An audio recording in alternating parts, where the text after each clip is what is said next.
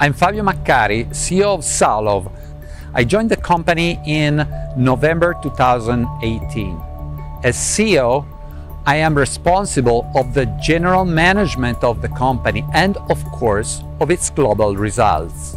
What I like best of the investment project of Bright Food in Salov is that the aim finally was to develop the potentiality of the company in the world and specifically to exploit the sector in the Chinese market and introduce the Chinese consumer to this marvelous category.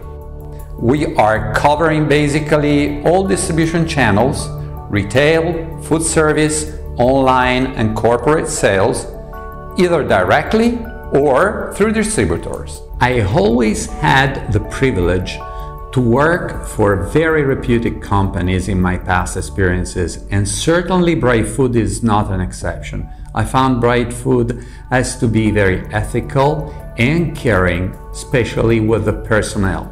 I had several moments and occasions that convinced me of it. And uh, this impression got even more clear during the first year of COVID, when the caring attitude of the headquarters towards Salov had been impressive and was very appreciated by all the personnel and by myself. I have visited China several times even before joining Bright Food.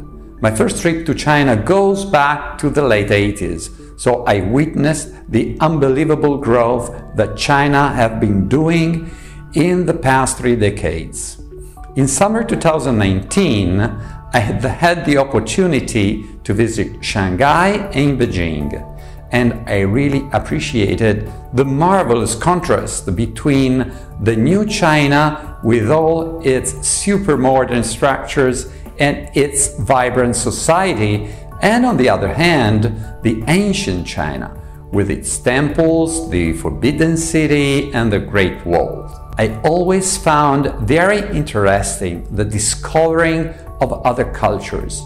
You need a great deal of capacity of listening and humility in order to interrelate with the Chinese colleagues and effectively cooperate.